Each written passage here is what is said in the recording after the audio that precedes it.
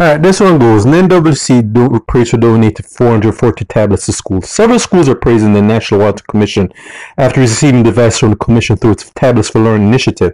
Throughout the initiative, the Commission donated 140 tablets to schools across Jamaica. 11 schools from 11 parishes received 10 tablets each, while 6 schools from 3 parishes received 5 tablets each. In addition, the NWC donated 70 SIM cards that are provided free of cost by Digicel Jamaica.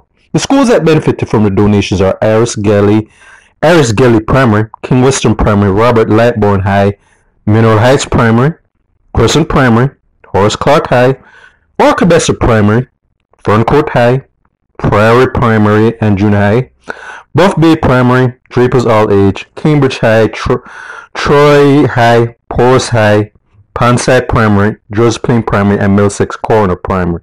Corner Primary.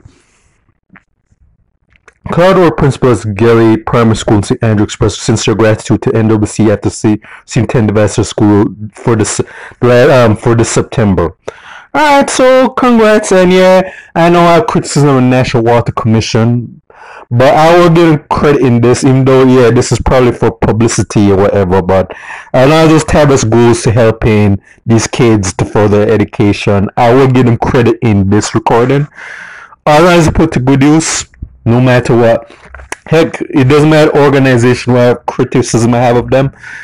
As long as they if they do stuff like that and it's for, it genuinely helps who needs help, I will kind of tip my hand off, tip my glass to them for this occasion. So this is for State of Jamaica and the Caribbean.